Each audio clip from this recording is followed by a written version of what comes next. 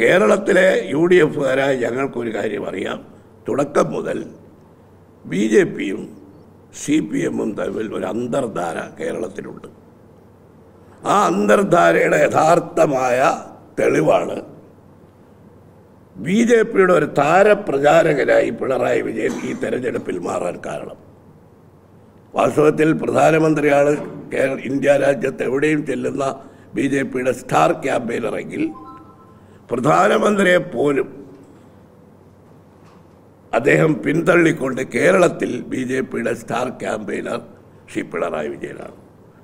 പൗരത്വ നിയമത്തെ നരേന്ദ്രമോദി അതിന്റെ പേരിൽ കോൺഗ്രസിനെ എതിർക്കുന്നതിനെ ഇന്ത്യ സഖ്യത്തെ എതിർക്കുന്നതിനേക്കാൾ ശക്തിയായിട്ട് കേരളത്തിൽ എതിർക്കുന്നത് ശ്രീ പിണറായി വിജയൻ ആവർത്തിച്ച് അദ്ദേഹം എതിർത്തുകൊണ്ടേയിരിക്കുന്നു. അതുമാത്രമല്ല ഇന്ത്യ സഖ്യം അധികാരത്തിൽ വരരുത് എന്ന ഉദ്ദേശം മനസ്സിൽ വെച്ചുകൊണ്ടാണ് അദ്ദേഹം ഇവിടെ കേരളത്തിൽ ഈ എൽ ഡി എഫിന്റെ പ്രചരണത്തിന് നേതൃത്വം നൽകുന്നത്. പക്ഷേ ആ കൂട്ടത്തിൽ ഞങ്ങൾക്ക് എന്ത് രഹസ്യധാരണ അന്തർധാര ഉണ്ടാക്കിയാലും പ്രധാനമന്ത്രി എന്ത് അവകാശവാദം ഉന്നയിച്ചാലും അതൊക്കെ പ്രധാനമന്ത്രിക്ക് എവിടെ നിന്ന് കിട്ടിയ ഉറപ്പാണെന്നുള്ള കാര്യത്തിൽ നമ്മളെല്ലാവരും സംശയിക്കുന്നുണ്ട്. അദ്ദേഹം ഒരു പ്രധാനമന്ത്രിയാണ്. അദ്ദേഹം പറയുന്നു ഞങ്ങൾ കേരളത്തിൽ കഴിഞ്ഞ തവണത്തെ പോലെയല്ല ഇത്തവണ രണ്ടക്കം. എവിടെ നിന്നാണ് രണ്ടക്കം സീറ്റുകൾ നേടുന്നത് എന്നുള്ളതിന് അദ്ദേഹത്തിന് എന്തെങ്കിലും ഒന്നുകിൽ അദ്ദേഹത്തിന്റെ ഈ എന്താണ് ഇന്റലിജൻസ് ഏജൻസികളുടെ റിപ്പോർട്ടുണ്ടാവും അല്ലെങ്കിൽ ബി ജെ പിയുടെ തന്നെ ഇലക്ഷൻ പിന്നെ സർവേ ഏജൻസികൾ കൊടുത്ത റിപ്പോർട്ടാകും അതിന്റെയൊക്കെ പുറത്ത് ഒരു വോട്ട് പോലും കിട്ടാത്ത ഒരു പ്രധാനമന്ത്രി ആറ് പ്രാവശ്യം ഈ തെരഞ്ഞെടുപ്പ് പ്രചരണത്തിന് കേരളത്തിൽ വരിക എന്ന് പറയുന്നത് അദ്ദേഹത്തിന് ഏതോ ഒരു ആധികാരികമായ ഒരു ഒരു ഉറപ്പ് അദ്ദേഹത്തിന് കിട്ടിയിട്ടുണ്ട്. അതുമായി ബന്ധപ്പെടുത്തി വേണം ഈ B J P C P M അന്തർധാരയും. Pinarayi Vijayan ഒരു താരപ്രചാരകനായി ബി ജെ പിക്ക് വേണ്ടി പ്രചരണം നടത്തുന്നതിനെയും കാണാൻ എന്നാണ് എന്റെ ഒരു അഭിപ്രായം. പക്ഷെ അത് ഈ തെരഞ്ഞെടുപ്പിൽ എവിടം വരെ എത്തും എന്നുള്ളതെല്ലാം നമ്മളിനി കാണാൻ ഒരാഴ്ച കൂടി കാത്തിരുന്നാൽ മതി. ഒരാഴ്ച പോരാ. ഇരുപത്താറിന് വോട്ടെടുപ്പ് കിടന്നാൽ ജൂൺ നാലാം തീയതി വരെ നമുക്ക് കാത്തിരിക്കേണ്ടി വരും. അതിനുള്ള ഒരു ഇതുകൊണ്ട് എന്താണ് സി പി എമ്മിന് നേട്ടം എന്ന് പല പത്രസമ്മേളനങ്ങളിലും മാധ്യമപ്രവർത്തകർ ഞങ്ങളോട് ചോദിക്കാറുണ്ട് എന്നോട് ചോദിക്കാറുണ്ട്. സി പി എമ്മിനുണ്ടാവുന്ന നേട്ടം എന്താണെന്ന് എല്ലാവർക്കും അറിയാം. കാരണം ഇപ്പോൾ മുഖ്യമന്ത്രിക്കെതിരായിട്ടുള്ള ആരോപണങ്ങളെക്കുറിച്ച് പ്രധാനമന്ത്രി തന്നെ രണ്ടാം പ്രാവശ്യം കേരളത്തിൽ വന്ന് പറഞ്ഞു. മുഖ്യമന്ത്രി കഴിഞ്ഞ യോഗത്തിൽ വളരെ സ്പെസിഫിക്കായി പറഞ്ഞു. ഈ സർക്കാർ ഒരു അഴിമതി സർക്കാരാണ്. മുഖ്യമന്ത്രിക്കെതിരെ മുഖ്യമന്ത്രിയുടെ മകൾക്കെതിരെ അന്വേഷണം നടക്കുന്നു. ആദ്യം പറഞ്ഞത് മുഖ്യമന്ത്രിയുടെ ഓഫീസ് കേന്ദ്രമാക്കിയാണ് സ്വർണ കള്ളക്കടത്ത് നടത്തുന്നത്. ഇ ഡി അന്വേഷണം തുടങ്ങിയിട്ട് നാളുകളേറെയായി. പക്ഷേ ഒരു ഇ ഡിയെ ഭയമില്ലാത്ത ഇന്ത്യയിലെ ഏക ബി ജെ പി ഇതര മുഖ്യമന്ത്രി ശ്രീ പിണറായി വിജയനാണ്. ഇ ഡി രാഷ്ട്രീയ പ്രതികാരം വീട്ടാൻ കള്ളക്കേസുണ്ടാക്കി ഡൽഹിയിലെ മുഖ്യമന്ത്രി കെജ്രിവാളിനെ ജയിലിലടച്ചിരിക്കുക. ഷിബു സോറൻ ജയിലിലാണ് നിരവധി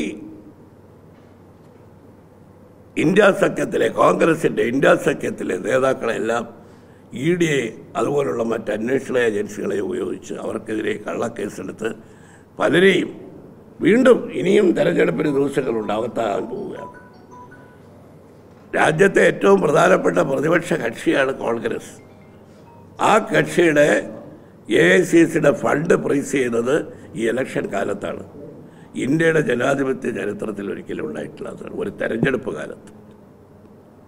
കോടിക്കണക്കിന് രൂപ ഇലക്ട്രൽ ബോണ്ടിലൂടെ ബി ജെ പിക്ക് കിട്ടിയ അഴിമതി പണം ഒരു വശത്ത് ബി ജെ പി സ്ഥാനാർത്ഥി തെരഞ്ഞെടുപ്പ് പ്രചരണത്തിന് ഒഴുക്കിക്കൊണ്ടിരിക്കുമ്പോഴാണ് നിയമാനുസൃതം എ ഐ സി സിക്കുള്ള ഫണ്ട് ഇവർ ഫ്രീസ് ചെയ്ത് തെരഞ്ഞെടുപ്പ് രംഗത്ത് ഒരു പൈസ പോലും ചെലവാക്കാൻ പറ്റാത്ത ഒരവസ്ഥയുണ്ടായി പ്രതിപക്ഷ കക്ഷികളെ ജയിലിലടച്ച് പ്രതികാരം തീർത്ത് കള്ളക്കേസെടുക്കുക. പ്രധാന പ്രതിപക്ഷ കക്ഷിയുടെ ഫണ്ട് ഫ്രൈസ് ചെയ്ത് തെരഞ്ഞെടുപ്പ് പ്രവർത്തനം നിഷ്ക്രിയമാക്കുക നിശബ്ദമാക്കുക. ഇതെല്ലാം ഉദ്ദേശിക്കുന്നത് ഇതെല്ലാം ഈ തെരഞ്ഞെടുപ്പിൽ ബി ജെ പിക്ക് പ്രധാനമന്ത്രി പ്രഖ്യാപിച്ച മുന്നൂറ്റെഴുപത് സീറ്റ് കിട്ടാൻ വേണ്ടിയാണ്. അതിന്റെ ഭാഗമാണ് ഈ കേരളത്തിൽ. കേരളത്തിൽ ബി ജെ പിയെ സഹായിക്കും. എൽ ഡി എഫ് എന്ന പ്രതീക്ഷയോട് കൂടിയാണ് ഈ ഈ മറ്റ് ഇന്ത്യയിലെ എല്ലാ സ്റ്റേറ്റിലും നടത്തുന്ന പ്രതികാര നടപടി. പ്രധാനമന്ത്രി പറഞ്ഞിട്ട് ഇപ്പോൾ പറഞ്ഞിട്ട് ദിവസത്രയായി ഇതെല്ലാം നടപടി സ്വീകരിക്കാൻ ശരവേഗത്തിലല്ലേ അരവിന്ദ് കേജ്രിവാളിനെ അറസ്റ്റ് ചെയ്ത് ജയിലിലടച്ചത്? എത്ര വേഗത്തിലാണ് അപ്പോൾ ഈ കേരളത്തിൽ ഇപ്പോൾ മുഖ്യമന്ത്രിക്കെതിരായി പ്രധാനമന്ത്രി വന്ന് പറഞ്ഞിട്ടും ഞങ്ങളെല്ലാം അത്ഭുതപ്പെടുത്തുന്ന ഒരു കാര്യം. പക്ഷേ പിണറായി വിജയനെതിരായി പ്രതിപക്ഷ കക്ഷികളോ മറ്റാളുകളോ എന്ത് ആരോപണം ഉന്നയിച്ചാലും അദ്ദേഹം അട്ടും വൈകാതെ മറുപടി പറയുന്ന ആളാണ്. ചുട്ട മറുപടി നൽകുന്ന പ്രധാനമന്ത്രി മുഖ്യമന്ത്രിയാണ്. ഇന്ത്യയുടെ പ്രധാനമന്ത്രി പറഞ്ഞിട്ട് ഒരക്ഷരം പറഞ്ഞിട്ടില്ലല്ലോ. അദ്ദേഹത്തിന്റെ പ്രധാനമന്ത്രിയെ ഭയക്കേണ്ട ആളല്ല. എന്തുകൊണ്ട് അദ്ദേഹം മറുപടി പറയുന്നില്ല? പ്രധാനമന്ത്രി മുഖ്യമന്ത്രി എപ്പോഴും പറയും എനിക്ക് മടിയിൽ കനമില്ല. അതുകൊണ്ട് വഴിയിൽ ഭയമില്ല.